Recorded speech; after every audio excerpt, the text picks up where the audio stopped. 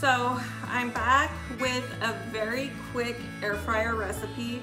Um, this is one of the meals that we go to when we're short on time and if we have a busy evening. My son has baseball practice today, so we decided on salmon.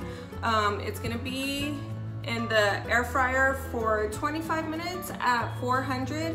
We're gonna serve it with pico, strawberry pico, so I'm gonna show you how to make that. that and we serve it with white rice. So while the salmon is in the air fryer, we're gonna do our pico and I'm gonna show you how to get it done. First, you're gonna wanna rinse your salmon with warm water, at least that's what I do. And then I just dab a paper towel on it to get it dry. Um, this usually serves four servings. Get around two to three tablespoons of olive oil and I just lay it on top and I just make sure to rub it all over even in the on the sides, on the insides and just all around.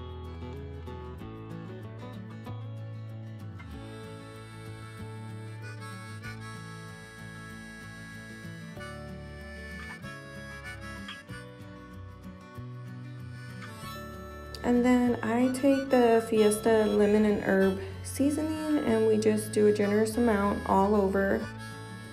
We like it really coated. Um, obviously, if you do not like that much seasoning, you do not have to do what I do and just keep on going back for more.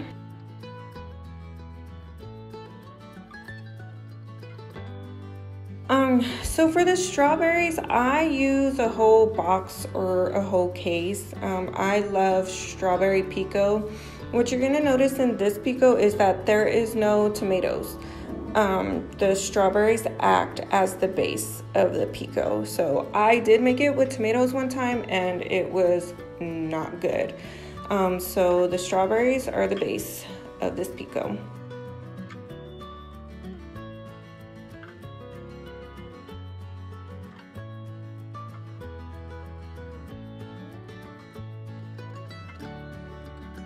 And then I do one jalapeno because um, my white husband thinks jalapenos are too hot. So I just chop one large jalapeno up.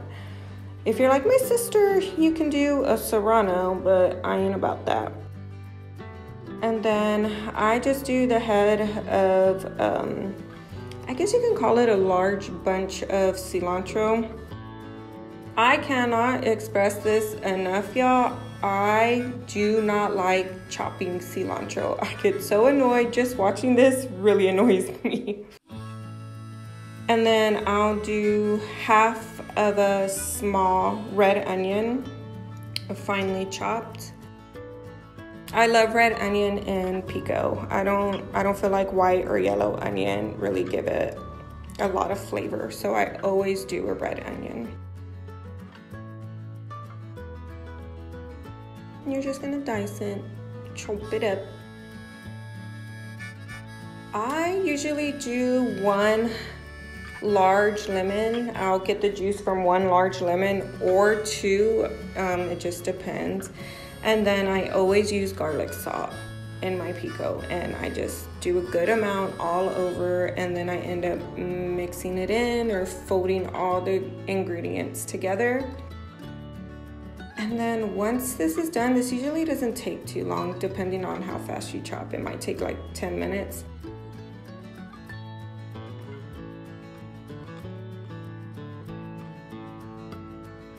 So this is the rice that we like to use. Um, you can get this at H-E-B and we just microwave it for two minutes. Obviously you can use other rice. Okay, so here it is when it's all done and put together. Um, I love this meal so much. Um, it's one of my favorites, so I really hope y'all enjoy it as much as I do. Alrighty, you guys, that's it. Um, I hope y'all enjoyed it. Like I said, this is one of my favorite meals. My cat opened my pantry door, so I don't have ghosts, just wild ass cats. Um, but yeah, I'll see y'all next time. I hope y'all like it. Bye.